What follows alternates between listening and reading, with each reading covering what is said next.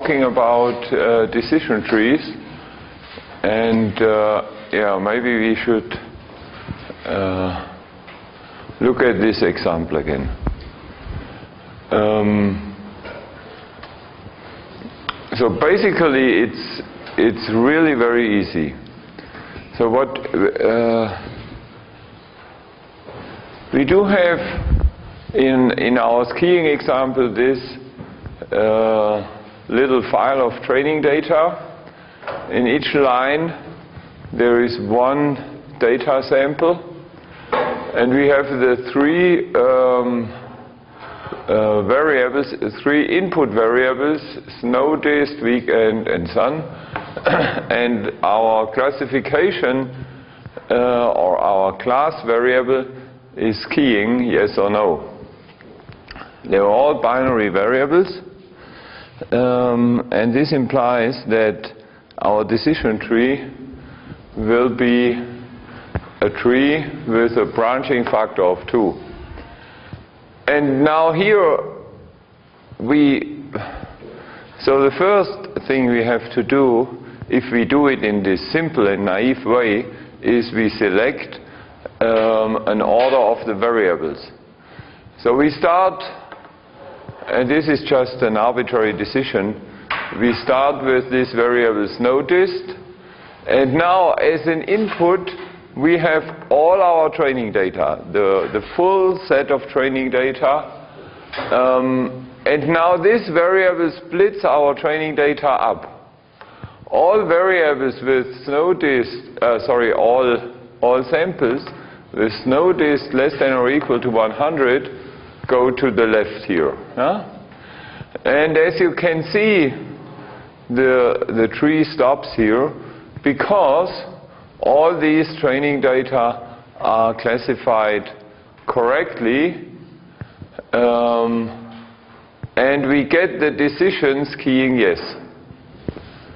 Now in the other case we have these training data and they are they are not yet, so we don't have a unique decision here, and therefore we use the next variable weekend, which splits up the data even more.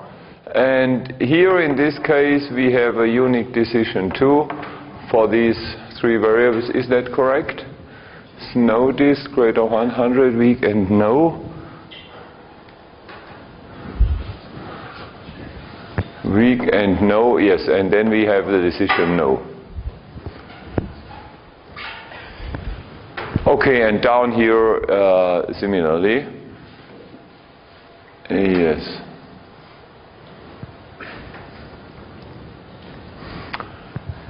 So this is the simple and naive way to build up such a decision tree. Um, and I mean, programming this procedure is not really difficult. Um, but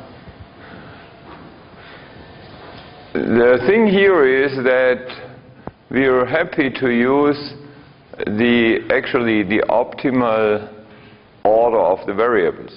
If we would have used a different order of these three variables, the tree wouldn't look that nice. The tree would actually be uh, much bigger. As you can see, the tree is so small because we were lucky and could stop here at this node. If not, maybe we would get a full subtree here. So it's crucial to use a good variable order. And what is a good variable order? That's the question.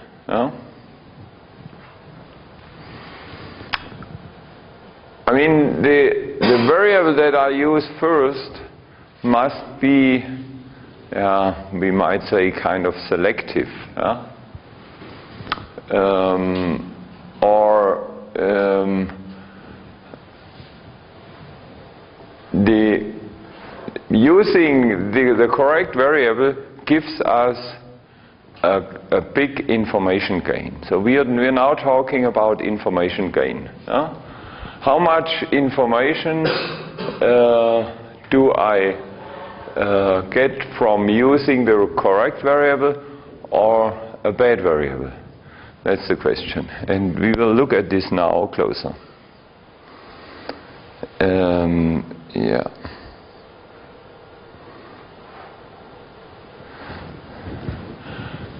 So we, we, we need, we need, um, we need uh, to know about the information content of our data. What is the information content of our data? Um, and the interesting question is, what is the information content of our data? Let's look at the, the tree again. What is the information content of this original data set? This is question number one. And the next question is, after applying this variable, we split up our data in this data in this subset number one and in this subset number two. And now the question is, what is the information content after applying this variable. So we will compare the information content of the original data set and the information content of this data set. Huh? Uh, look, for example, at, at this data set. The question is, how much information do I have about our class variable skiing? Look here, here we have perfect information. We know that on all these four days, the correct decision is skiing. So perfect information, whereas here, we do, we do not have perfect information because on some of the days, at least on these four, skiing is yes, and uh, I don't know, on, on most of the others, it's, it's no.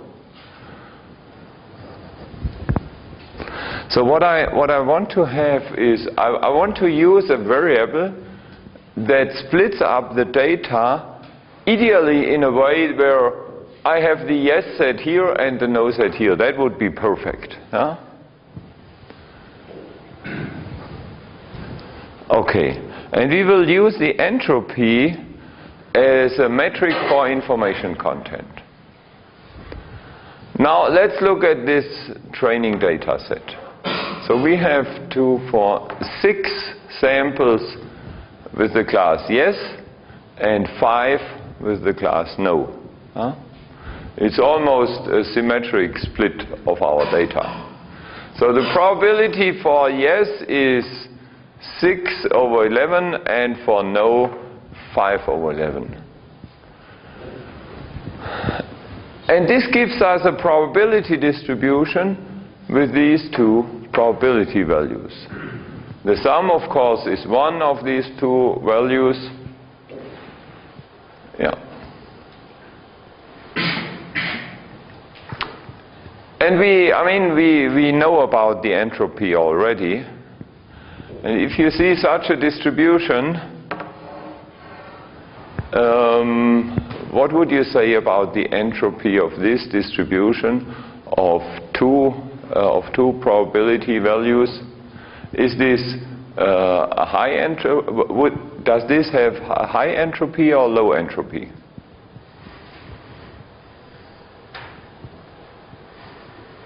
What do we remember about entropy?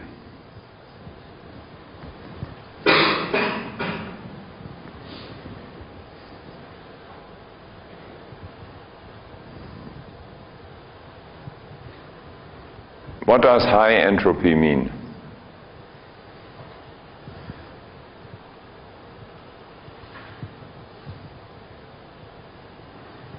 High entropy means low information content. Huh? Um, or, in other words, it means high uncertainty. The highest uncertainty would be um, one half, one half. Because then I know nothing about my decision. And this is as close as it can be to one half, one half. So that means uh, this distribution has high entropy, so or uh, little knowledge about the decision. Okay, yeah. I mean, in general, we have a probability vector of length n uh, with this normalization condition. And yeah, and, and the two extreme cases. In this case, I have perfect knowledge. I know that the, this first event occurs all the time, so the, this is the, the true event, um, and the others, they occur never. Uh, so here I have perfect information. I cannot have more information than here. And in this case, uh, I have uh, little information. Uh, so here I have maximum uncertainty. Okay, yeah, and I mean now I want to uh, give an, an easy and simple derivation of the, of the entropy formula. Last time when we talked about Maxent, I just uh, gave you the entropy formula, but now I want to give some arguments why this is uh, why this is a good formula. Okay. Now, yeah, Claude Shannon, he was the inventor of the uh, uh, entropy. No, he didn't in invent the entropy function, but uh, he, he proposed the entropy as a metric for information content. And he asked the question, how many bits would be needed to, to, to encode such an event? How many bits would I need to encode this?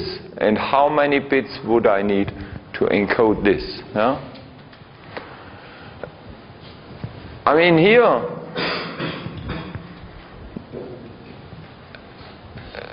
if this is my distribution, then I mean, I, I, can be sure all the time that event number one occurs. Yeah? So I don't need any bits to encode which one of the n events is it. Now, here in this case, I have n outcomes of my experiment, n different outcomes. And the probability for all these n different outcomes is the same.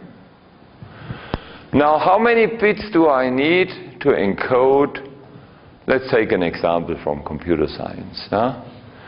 Um, suppose there is um, some connection, a wire, and at the end of this wire, I see characters. Huh? A, B, C, D, and some other characters. And we do have 256 different characters that may appear. How many bits do I need to encode them? How, how many bits do we need to encode 256 different characters? Eight. Eight, of course, yeah. Why? Because this is the, the binary logarithm of 256. Or I mean, if you, you can view it the other way around, if I have n bits, I can encode uh, 2 to the power n different events. So that's why we come to this binary log n. And this is, I mean, this is true.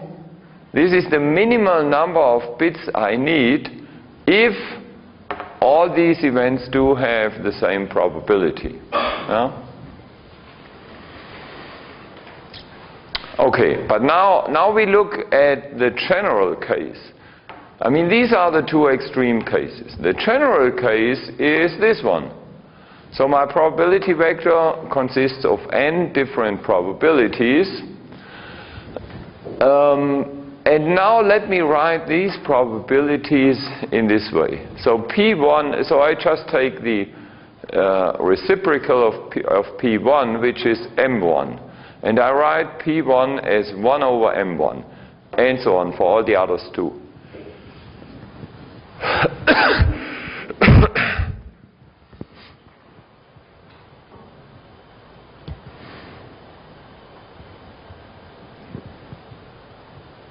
okay, yeah. I do this because I want to uh, to get to the to this log two. You see, the the the probabilities they were one over n. I have n events all with the same probability, uh, so the probability is one over n. And you see, we got log two n bits for all these events.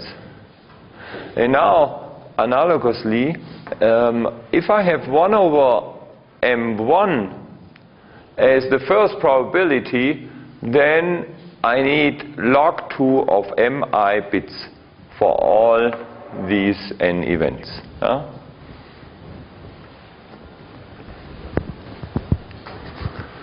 So that's the number of bits I need for event number 1, 2, and so on. Okay, and now the question is what is the expected value for the number of bits? Yeah, now I just use our, uh, the well-known formula for the expected value of uh, n uh, over n events. Yeah? So this is the number of bits, binary log of mi. We have to multiply it with the probability pi and the sum over, over this whole thing. Now mi was 1 over pi, and, and this is minus the log of pi, so we get the minus sign before the sum, sum over pi log pi. Huh? Okay. And now what we have here is the expected value for the number of bits I need. Huh? And I need the more bits the higher the uncertainty is of my distribution. If the uncertainty uh, is zero, then I need zero bits.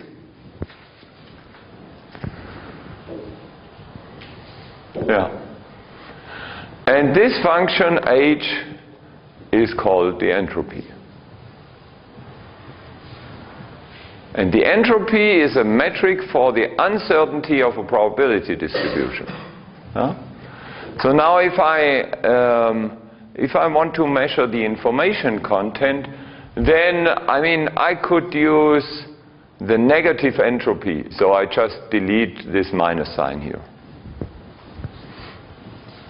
Or, I mean, it doesn't matter. We could also use 1 minus the entropy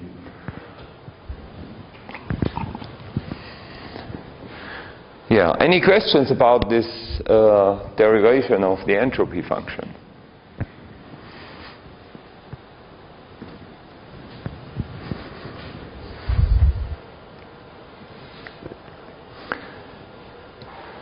Yeah, okay, yeah. And we, we do have a little problem which is um, if one of the probability values is zero, then um, one element of this sum is 0 times log 0. Huh?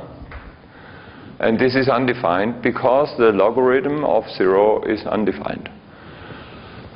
So the question is what to do, and, and I mean, this occurs very often that probabilities are 0. Huh? What to do? Yeah, the point is that, um, I mean, log of 0 is undefined, but um, the, the limit of, yeah, let's go to the board.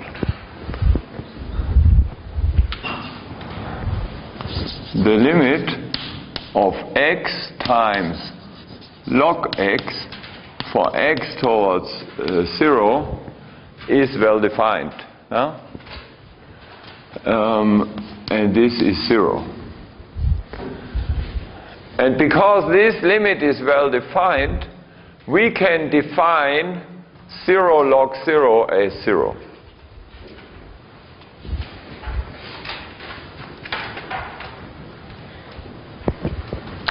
And now we can, uh, we can compute the entropy of any distribution. For example, the entropy of this distribution where we have uh, one, one value as being 1 and all the others are 0 and, uh, and this is 0. Yeah?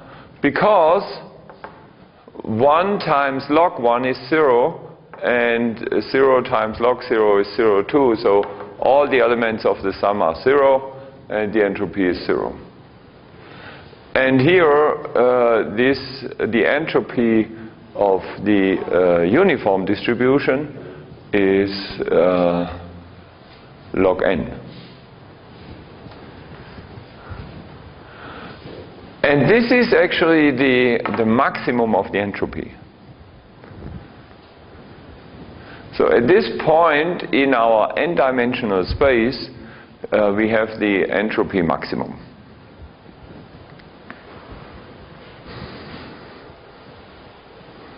Yeah, look, uh, let's look at this special case. Uh, this is um, the case where I have two events with two probabilities, P1 and P2. And because the sum of these two has to be 1, we can write it in this way.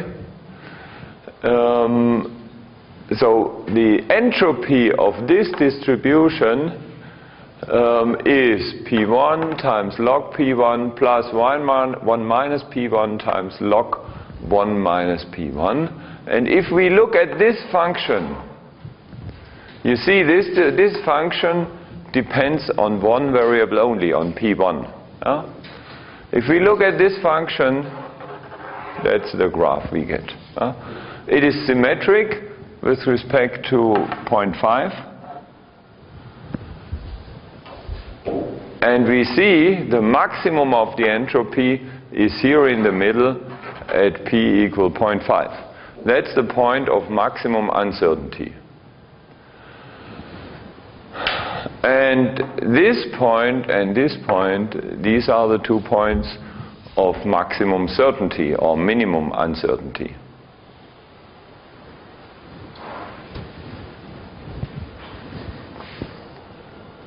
Yeah.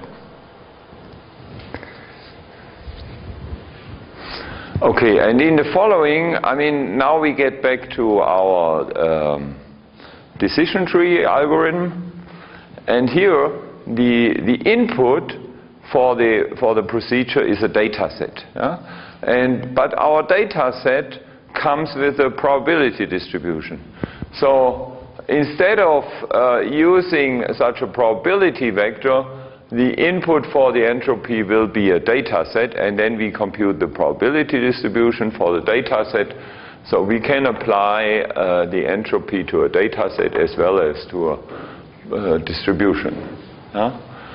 And now, uh, because we need to have a metric for the information content, uh, we will define the information of our data set as 1 minus the entropy. Okay, and now uh, in the next step, let's, uh, let's look back at our decision tree. Yeah, here. We want to have a metric for the information gain.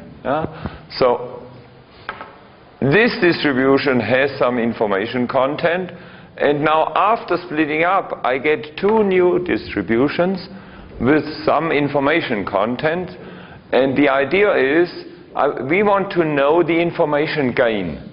So the question is, using this variable here gives us which information gain? What is the information gain from using this vari variable? Um, and what we do is we compute the information content of this distribution, the information content of this, and the information content of this. Now, we have three distributions. Uh, now, what we do is we take the, the average information content of these two distributions, and compare it with the original one.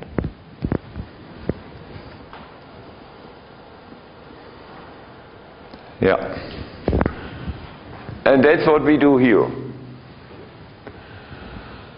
So the original distribution was uh, 6 over 11 and 5 over 11, and the, uh, if we compute the entropy, it is 0.994. Huh? And now the information gain is, um, yeah, um, let's see. I mean, the information contents here is 1 minus this value. And this is what we have here. So now what, what, what we do is, this is the average information content after splitting up, minus the original information content. This is the information gain. Um, and now, what do we have here? Look, I of di this is the information contents of the two new data sets after splitting up. And what we have here is, this is just the, the relative frequency of our data. So if the data are being split up as four elements in the left subtree, uh, four data samples in the left subtree, so we have 4 over 11, and in the right subtree we have 7 over 11. But let's look at the example. Yeah. So this is the formula for the information gain again. Yeah? And now in order to get back to the entropy, um, information gain is 1 minus the entropy here and 1 minus the entropy here. Um, yes. So this, let's see, how do we get?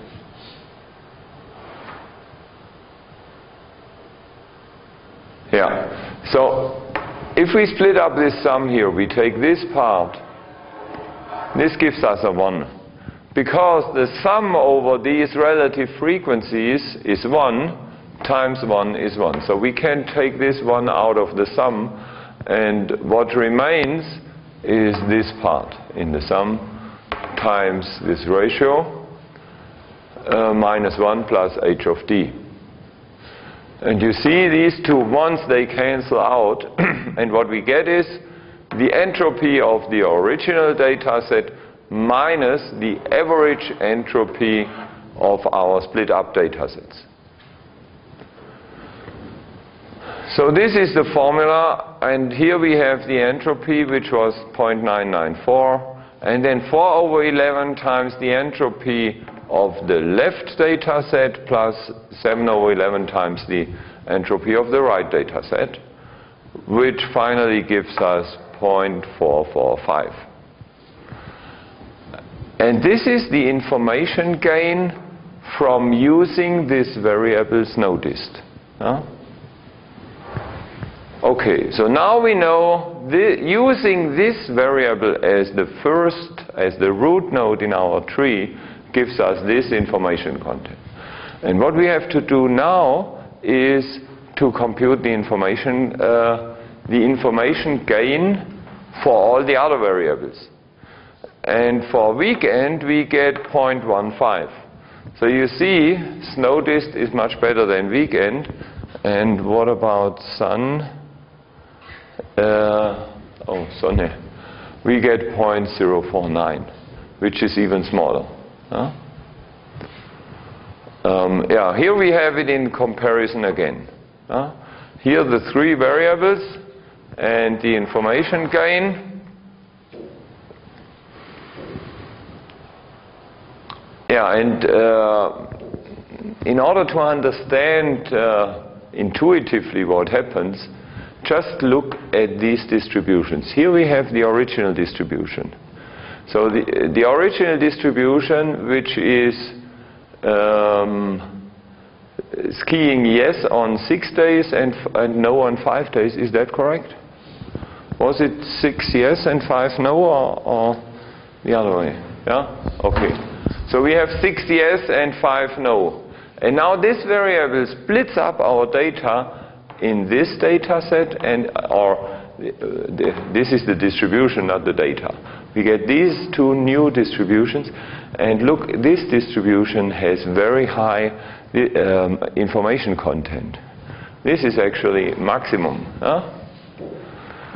Um, this is not so good, but if we if we look uh, at uh, uh, at this uh, case where we use weekend, um, so this distribution is much better than this, and uh,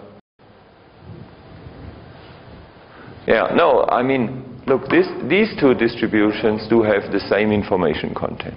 These two have the same information content, but this one is much better than this. And that's why we get uh, higher information gain here. Huh? And now if we look at this example, then we see here we have higher information content in the, in the left case, and here we have higher information content than here. Uh, and therefore, the information gain here is higher than it's here.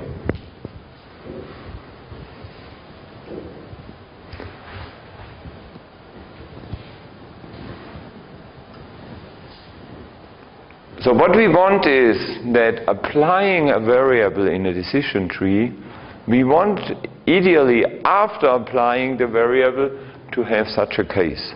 So some number and zero on the other side. Huh? because this gives us uh, most information gain.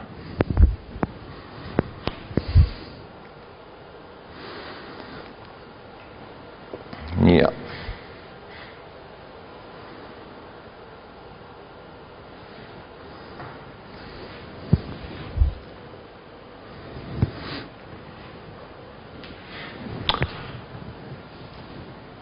Okay. Um,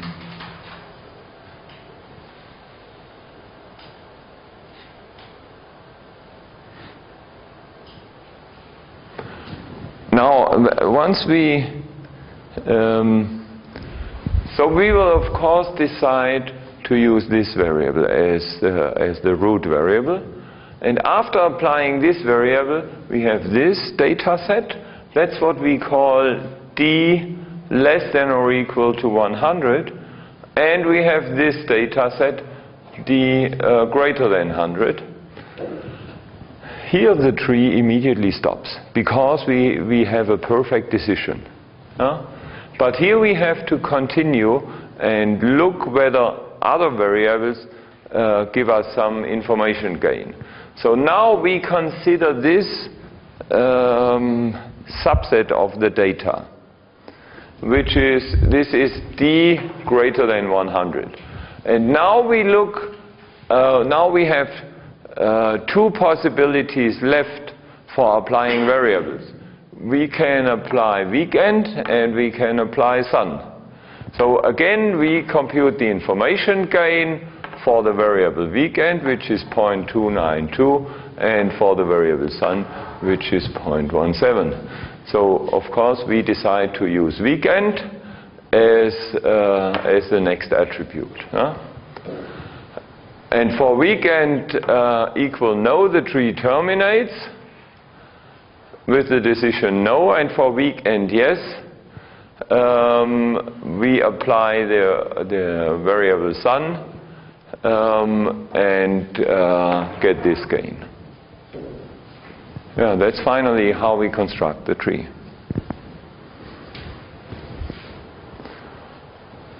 And this is the resulting tree. This is actually the same tree as we had it uh, in, the, in the first picture. Okay. Now there are um, a couple of different implementations of this algorithm. And so the, yeah, the best known and most popular system uh, until at least a couple of years ago uh, was C4.5, um, which comes from uh, Ross Quinlan. And uh, C4.5 is a successor of his original system, which was ID3. Uh, ID3 was one of the first decision tree algorithms. Um, and now there is even a successor of C4.5, which is C5.0. Uh? Um, yeah.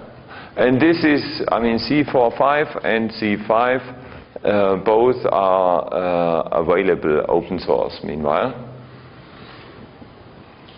These are just C programs which you can use on the command line.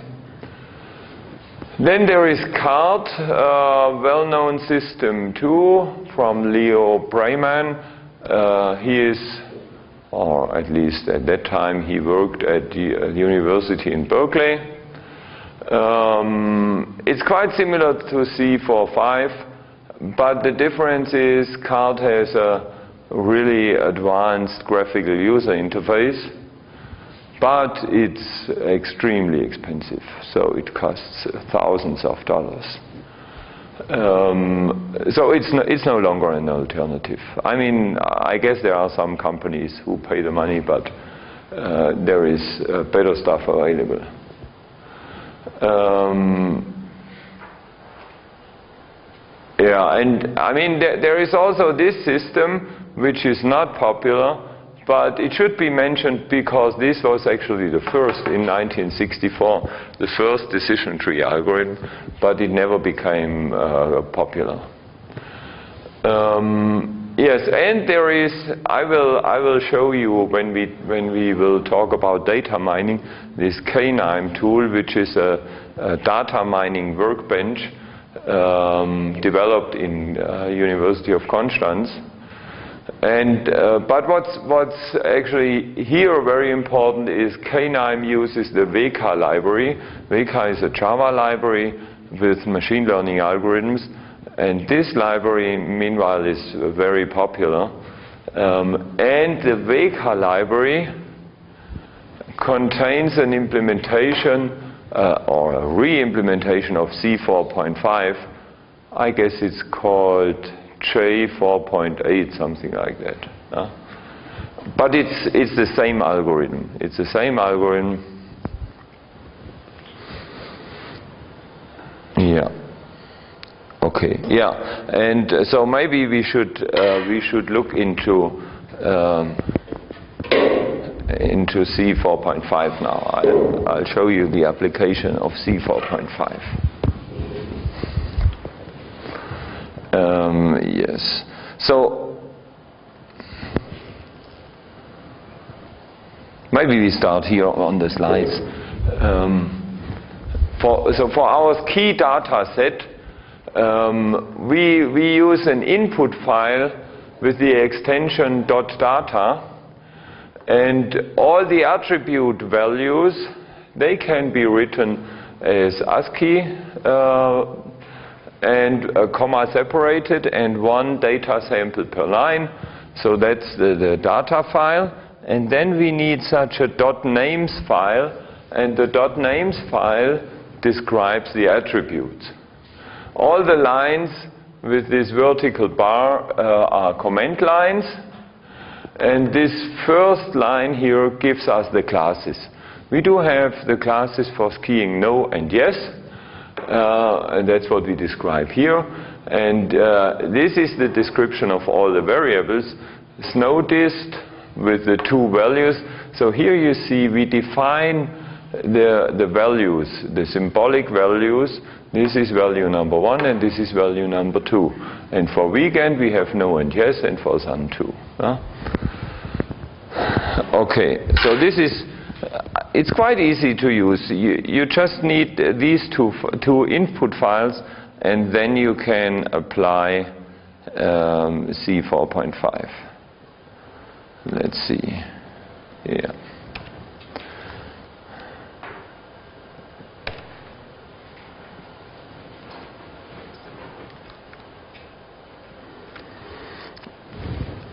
Is this big enough? The, the font? Okay.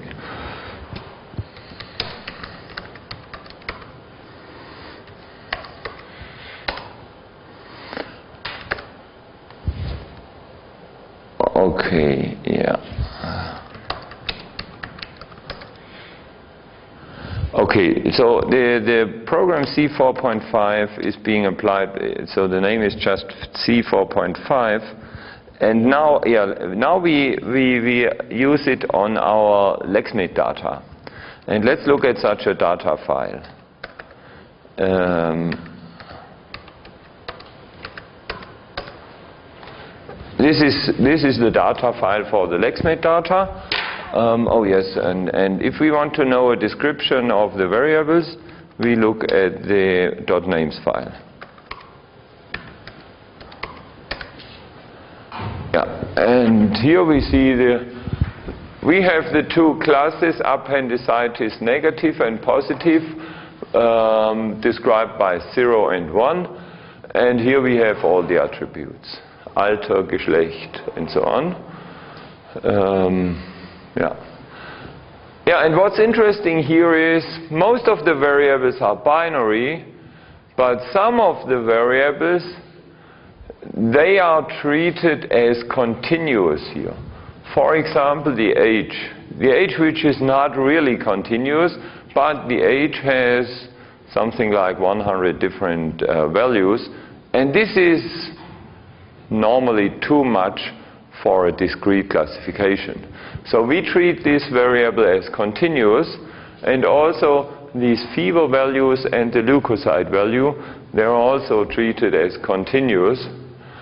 And we have to look into this because now we don't know how uh, our decision tree algorithm can work with continuous variables. But we will look into this.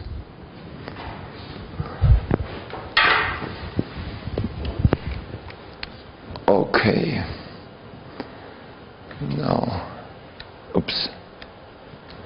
Wenn ich mich recht erinnere, war das Alter noch in zehn Kategorien unterteilt oder so, die Typen auch bei dem LexMed.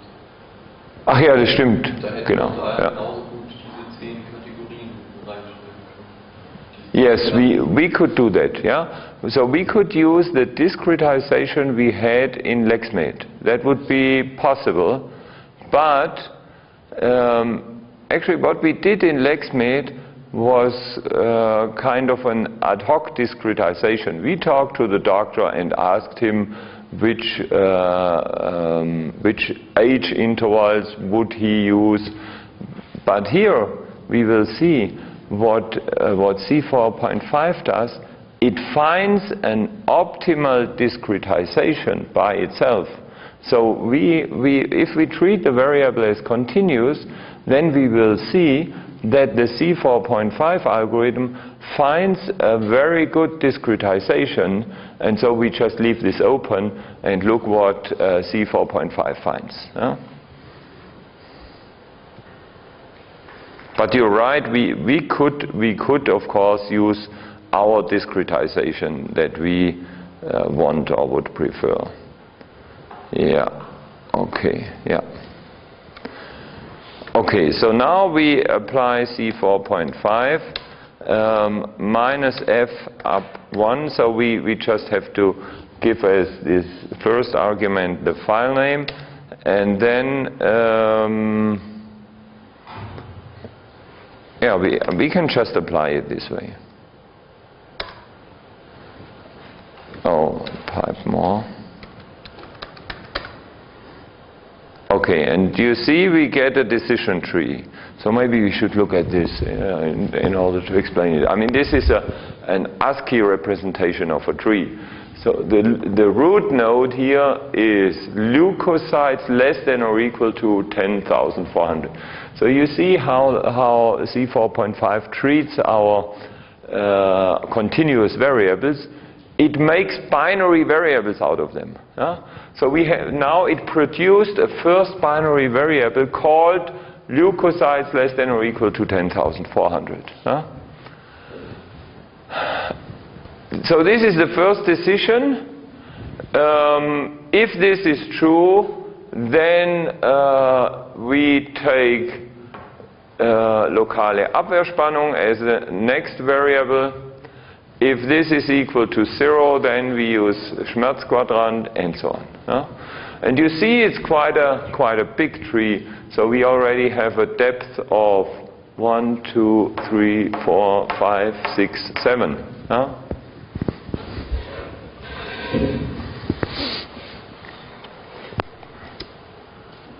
And it's even, it's even deeper. Ten. We have a depth of 10 already, which is quite a large tree. Yeah, you really see it.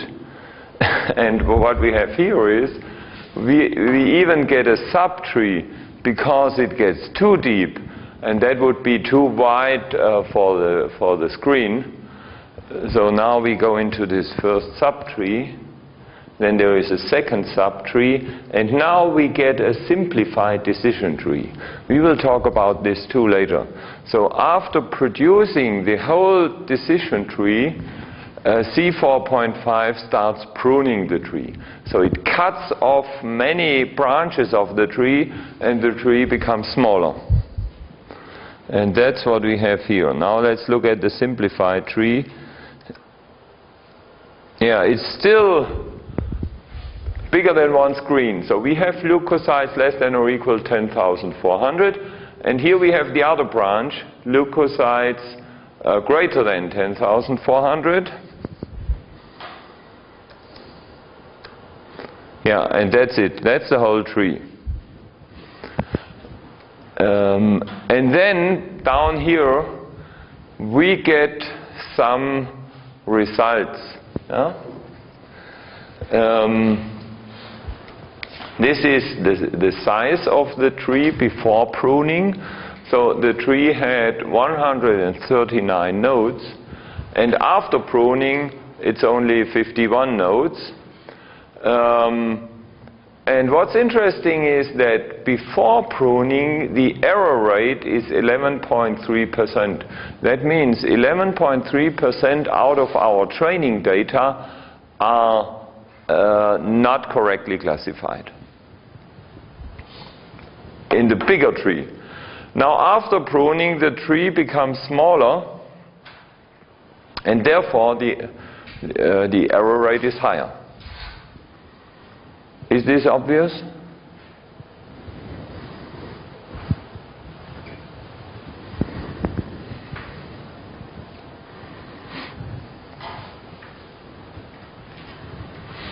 Yes, it is.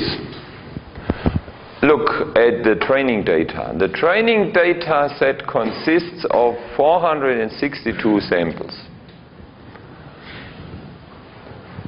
How many nodes would I need in a tree such that for sure I can classify all um, all training data samples correctly.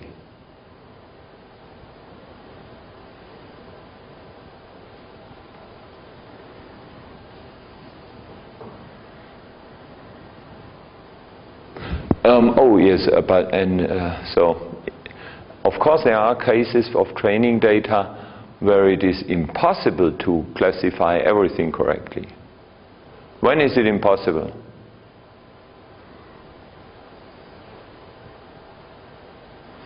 Uh, in case of inconsistencies in the data.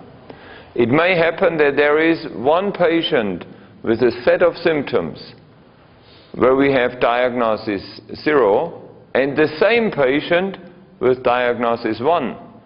This is an inconsistency or, or a, um, a contradiction. And such contradictions, they can never be classified correctly.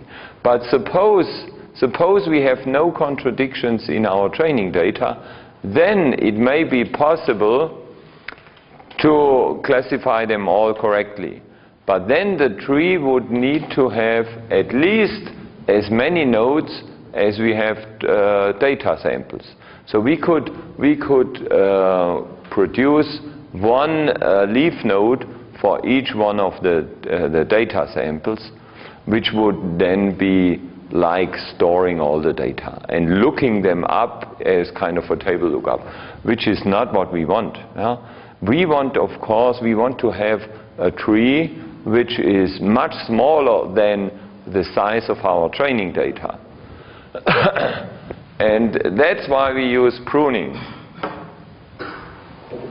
Okay, but actually these numbers here, they are not really interesting. They are not interesting because testing our decision tree on the training data is not very useful. Why?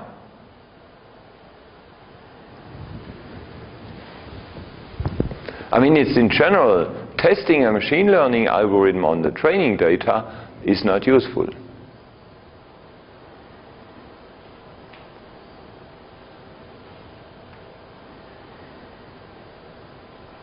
Why doesn't that make much sense?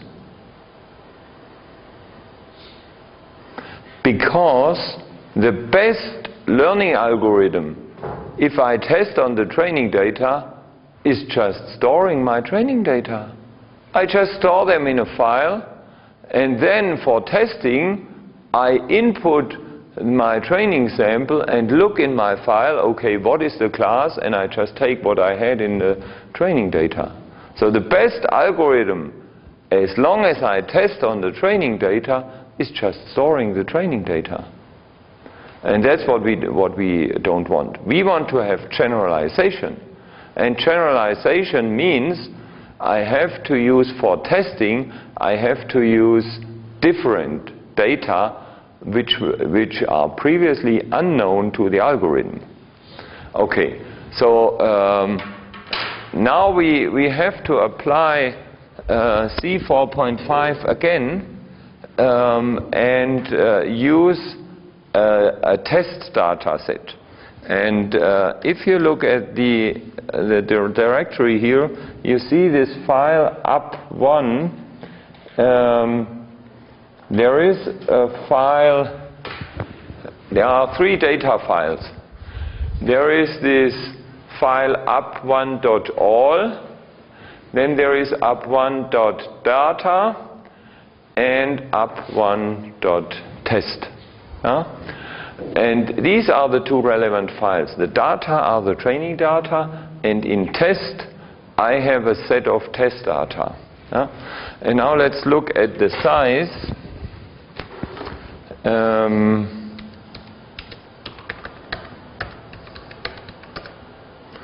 in up1.data, there are 462 lines, yeah? which means 462 uh, training samples. In, and in dot .test, we have 231. You see, this is just half as much. Uh, what I did was I split up all my training data in two-thirds as training data and one-third as test data. And now if we apply C4.5 and want to use this test data file, we use the minus u option. And then, uh, I mean, we get the same tree, everything the same, but at the end, uh, we get an evaluation on the test data too.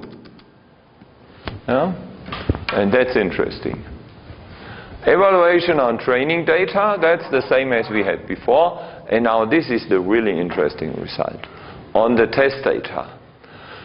Before pruning, the large tree gives me an error of 32% on the training data. Um, uh, sorry, uh, sorry. This is 32% on the test data before pruning and 30% on, uh, after pruning. And now, can you understand what happens here? Look here. On the training data, the error after pruning is higher, and on the test data, the error after pruning is lower.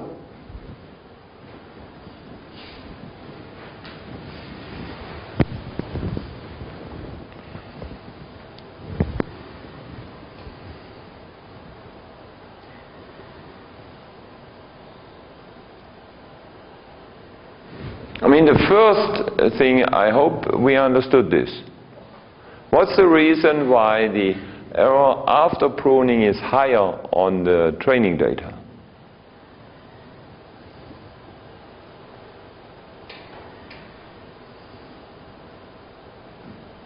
I don't have these many paths for the special cases. Yes.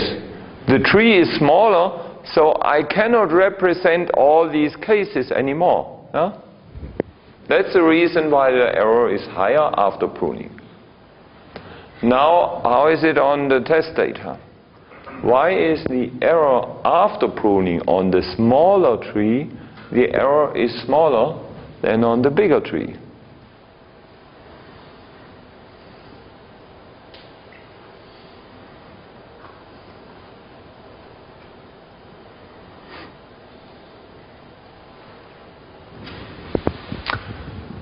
Yeah, the reason is, I mean, this is the same tree here. This tree is better on our training data because it can represent specific details, particular details of my training data. And here I can even represent random noise in my decision tree. And random noise is not what we want to learn. yeah? Um, and that's why, look, compare these two numbers.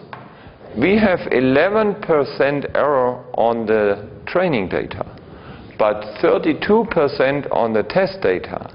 And this shows us that we have overfitting here. Overfitting means my, my tree represents noise. Uh, my tree represents noise which is not really useful. And if I test it on unknown test data, then we see the error is much higher than it was on the training data. So it doesn't make sense to use such a big tree.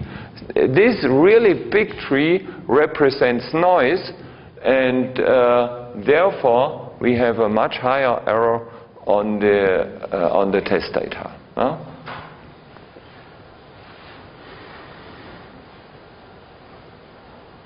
Ja. Stark davon ab, wie welches, welchen Teil der Daten ich als Testdaten auswähle. Wenn man zufällig die falschen Testdaten wählt, dann bekommt er was deutlich heraus.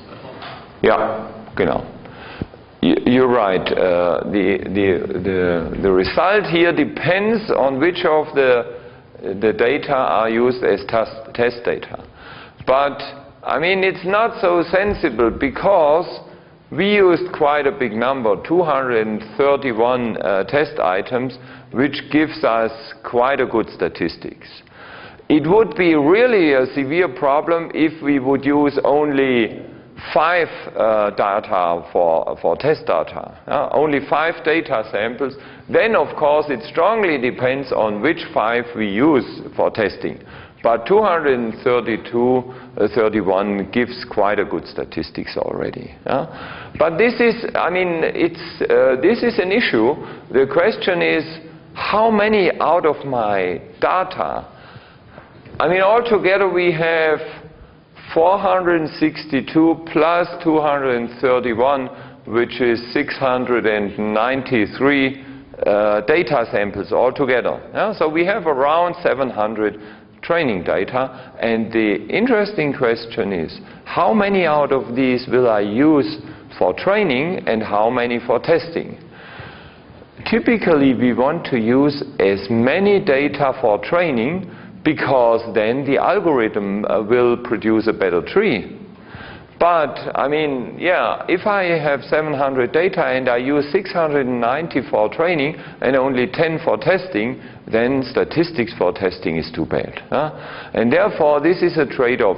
And what I did here is I used two-thirds for training and one-third for testing. Uh, if I have enough training data, I can do this. If we would have only 100 training data, then we would have um, yeah, kind of a severe problem. huh? But then still, there is a, a really good procedure, but this costs more computation time.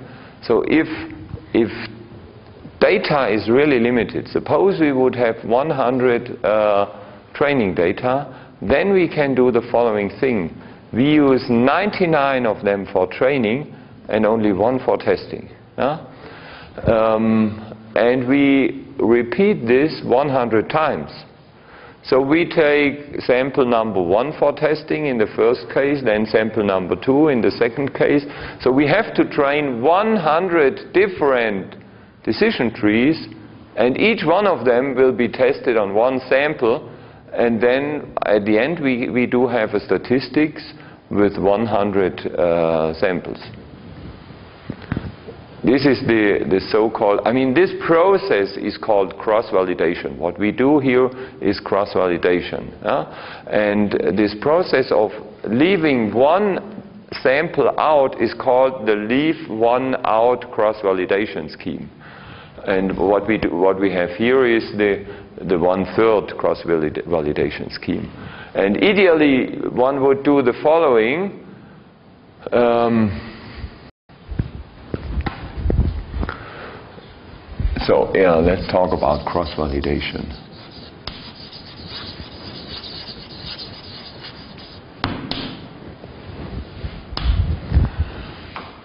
So in the first step we split up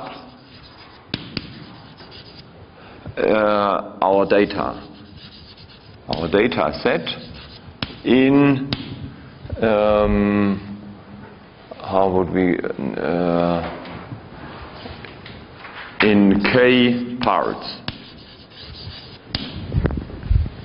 So now, suppose this is our data set, and now we split it up. So this is k equals 6 into 6 equal parts. And in the, in the second step, um,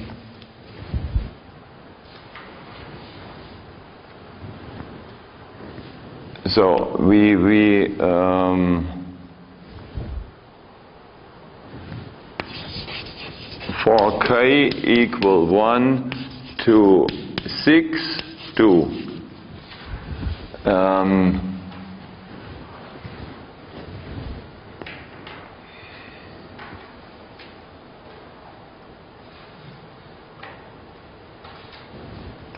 use all except dk for training.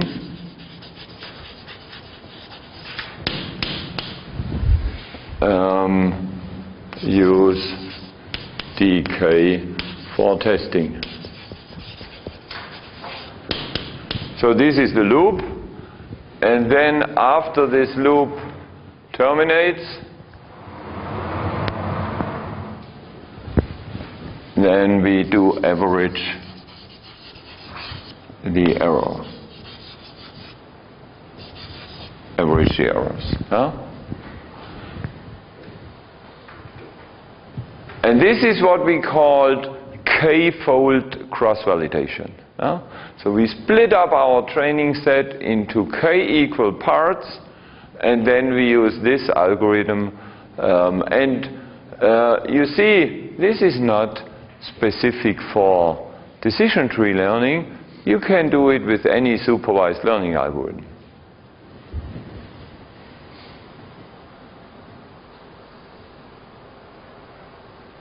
Yeah.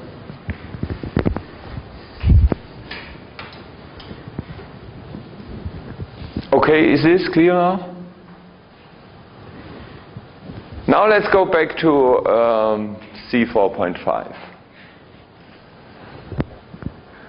Um, yes.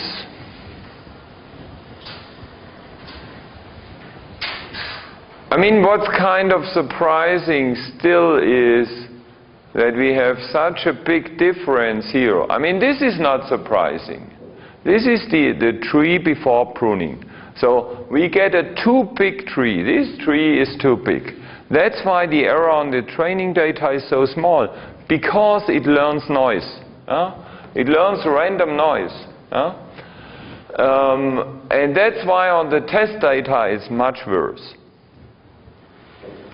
Um, but the difference between these two numbers, this difference uh, worries me a little bit because after pruning we should prune out all these noise branches. And then this number should be quite close to this one. Yeah? And they are too far apart. So that means this tree after pruning still represents random noise. So this is not really good. Um, and therefore, I can, in, in C4.5, there is one parameter that, that we really can use effectively for pruning. It's the so-called minus m parameter. And this minus m parameter is really useful for, um, for reducing uh, such overfitting, such learning of noise. And the minus m parameter does the following. Suppose we have some node here, and we split up this node, and now here we would use some other node. But the, uh, the, the, the splitting up is only allowed if these subdata sets, so uh, let's suppose this is variable vi with the values, um, let's call them v plus and v minus, and this data set dv plus and these data sets dv minus the number of data in these two sets, if the, if the number of data becomes too small, suppose there is only one sample in here and, and the other sample in here, then what we do is we represent one single uh, training sample by a branch in a tree, which is not good. Yeah? Um, and we can, uh, we can limit, we can give a lower bound on the size of these subsamples. Um, and I mean, what's uh, quite reasonable would be the bigger the number, the better. So we could use 100, for example, as a minimum size for these subsets. And then we have good statistics in the subtrees. Let's, let's just do this. Yeah? Let's, let's use 100 as an, a lower bound. There is this, it's a minus m parameter, 100. Yeah, and that's it. Here we have the tree. Decision tree. Leukocyten less than 10,400, zero. So that means send the patient home greater than 10,400 operation. That's a quite a simple tree. No? And uh, here in parentheses, you see the statistics. That means 192.4 samples um, are correctly classified when I say zero in this, in this subset and 63.4 are incorrectly classified. So, um, yeah.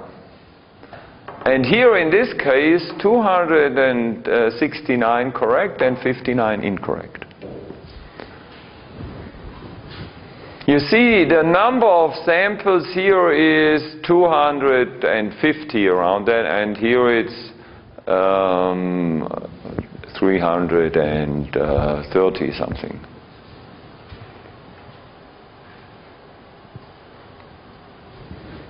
obviously, you, you see 250, 330. If we would do a further splitting up of the tree, then we would have some sub tree with less than 100 uh, samples. And now let's look at the results.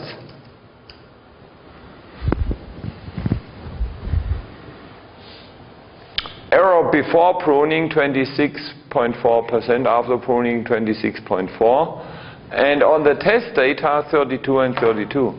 Now you can see what happens. Before we had this extremely large tree with uh, how many nodes? 1,000? I don't remember.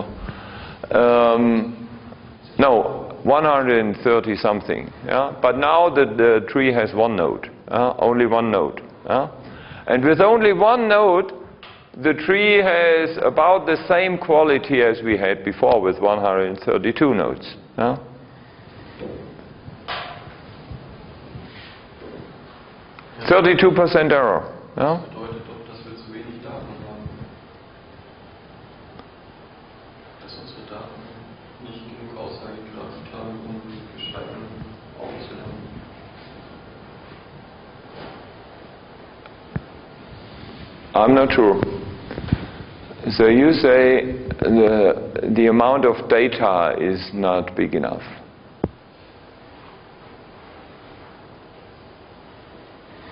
This may be one reason, but actually I can tell you the real reason for, uh, for this high error rate here is different. The reason is inherent in the problem. The problem is difficult.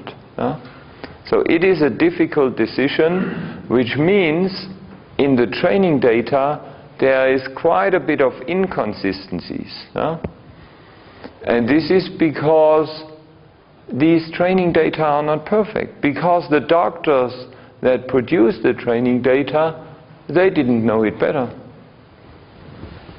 And this is always the question. The question is is the high error rate due to uh, too small amount of uh, training data or is it due to a bad algorithm or is it due to bad quality of the training data these are the reasons we may have for bad classification. But now let's, let's try it again. Uh, but I mean, minus M100 is obviously too big because this makes us the tree as small as it can be. Oh no, it, uh, let's, let's use minus M300. We get an even smaller tree. This is the decision tree now. This tree has no node at all. This tree always says, do the operation. Because that's the best you can do. Oh, sorry. Um, let's look at the evaluation. We do have on training and test data an error of around 40%. Huh? Why? Let's look at the tree again. Here you see the statistics. huh? Um, so 462 out of our training samples, no, oh yeah, see. Sorry, I, I misinterpreted this number. This is the number of all the samples I do have in this node and this is the number of errors. So 188 out of 462 are not correctly classified. huh? So the evaluation on the training data, the error rate is 188 divided by 462, uh, which obviously is, what, what is it? 40%. huh? Yeah, you, can, you see, 188 errors, which is 40.7%. Okay, so this is the smallest tree we can have really. Now let's use a better minus m. How about m10?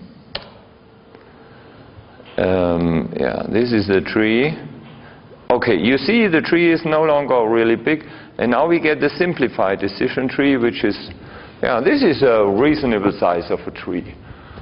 Uh, the depth is 1, 2, 3, 4, 5. And it doesn't have too many nodes. Yeah, and now let's look at the results.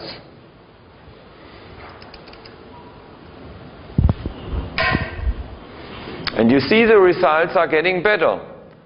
On the test data, after pruning, we do have 26%. And this is, I guess this is close to the optimal we can have.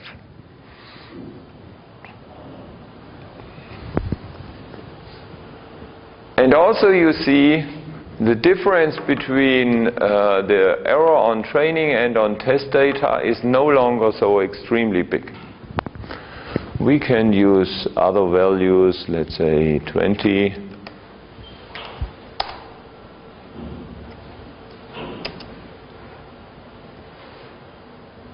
Yeah, it's similar. So there is no big difference. Yeah.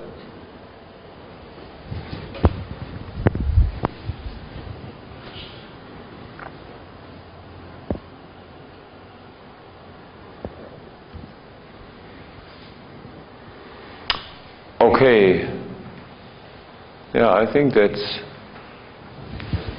basically what I wanted to show here.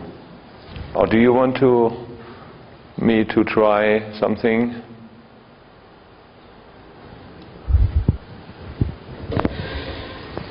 Okay, so let's go back to the slides.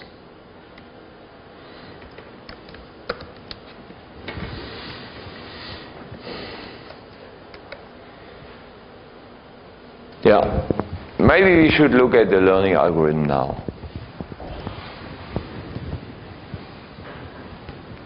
So it's this function generate decision tree and as an input we have the data set and a node, a node which is the starting node um, because we will call this algorithm recursively. Okay, and the first step, I mean this, we compute the information gain.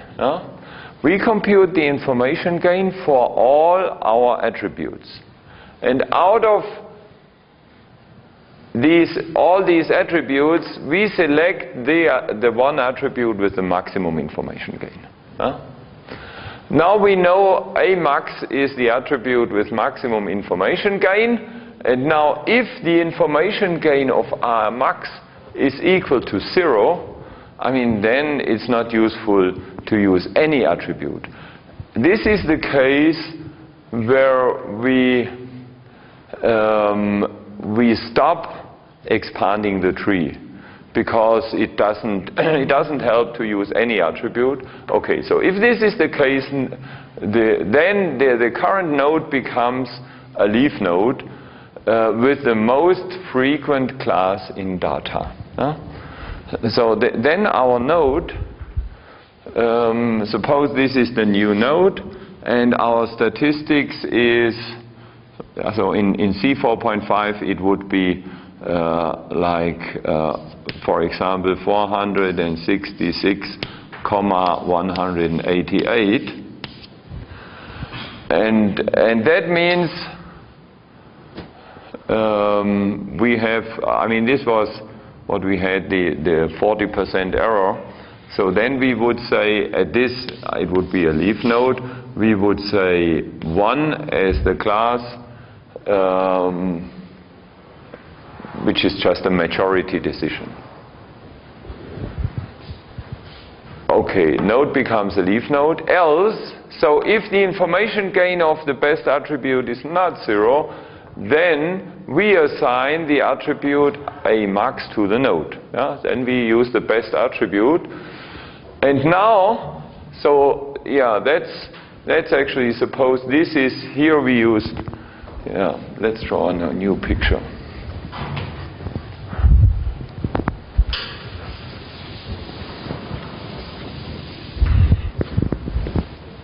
For our node, we use the attribute a max. And now what we do is for all values of this attribute, huh, for each value a1 through an of a max, we generate a successor node. So we generate all these successor nodes. These are k1 through kn.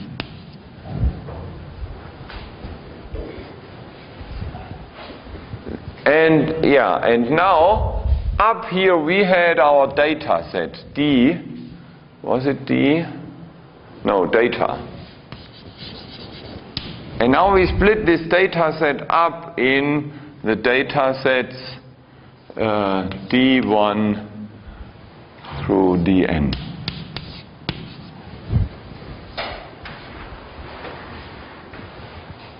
And what is di? The ith data set is the set of data x with a max of x is equal to ai. And ai are the, the different values. So the, we have a1, a2 to an. Yeah? And now d1 is the data set uh, where the attribute A max has the value A1. Okay, so we split up the data, and now for all data sets, 1 through n. Um, so we go into, this is a loop over all these nodes, about, over all these subnodes. Uh. Now we start with the first, and if all Uh, uh, samples in this data set belong to the same class, I mean, then we are finished. Then we make a leaf node out of this, generate, then we generate a leaf node ki of class ci. Huh? If we do not have a unique decision, then we do a recursive call of our generate decision tree algorithm and we just continue recursively, that's it. Okay, questions?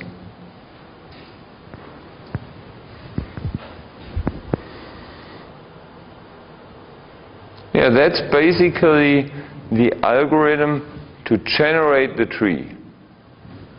We did, we did not talk about the pruning. So we generate a tree which may be too large. And uh, after that, we will prune the tree.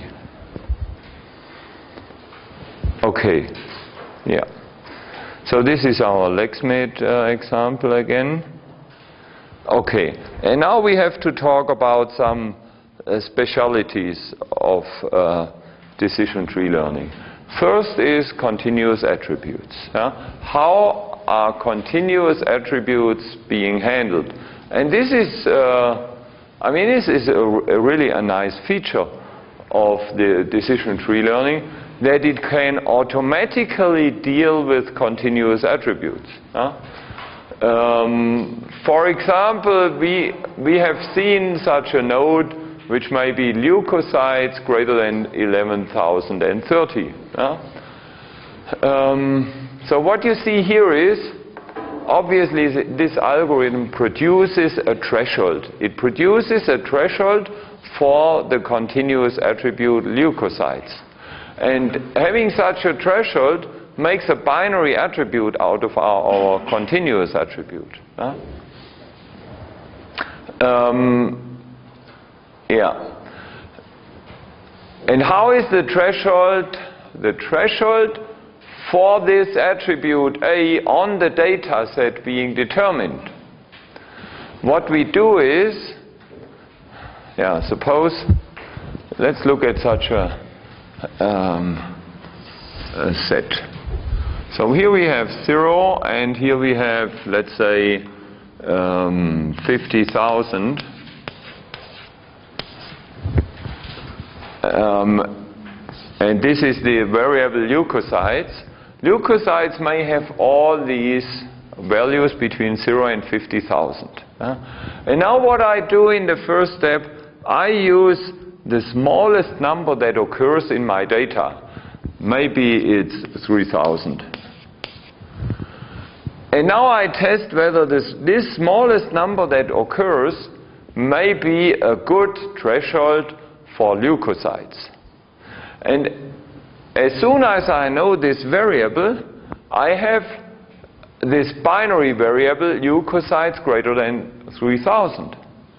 And now when I have such a binary variable, I can immediately compute the information gain of this variable leukocytes greater than uh, 3000. Um, so I will compute the information gain for the threshold uh, 3000.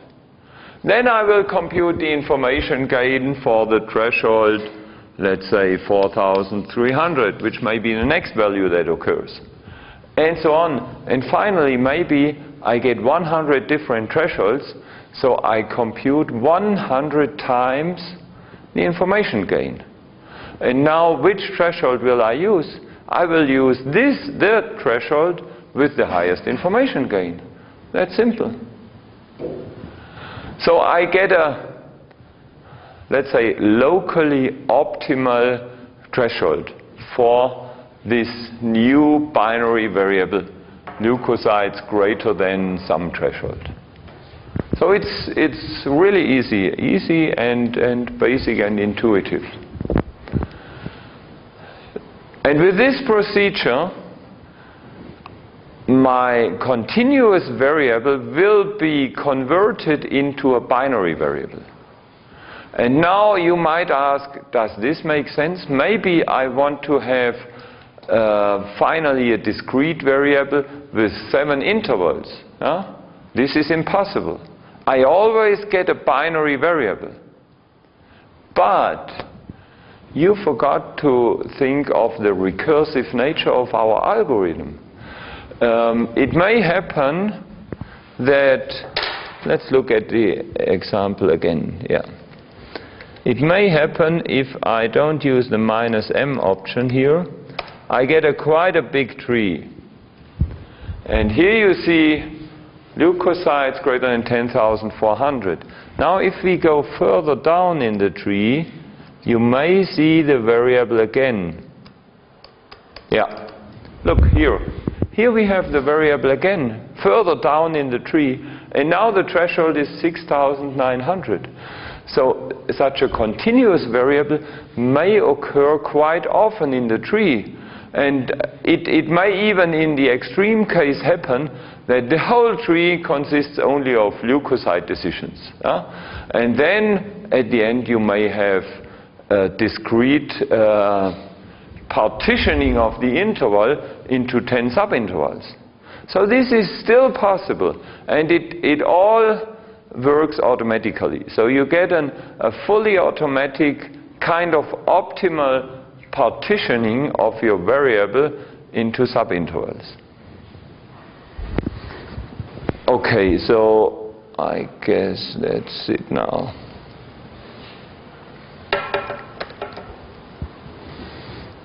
Yeah, so that's how continuous attributes are being treated. And uh, so next Monday we will continue and talk about uh, pruning and some other specialities of decision tree learning. Thank you.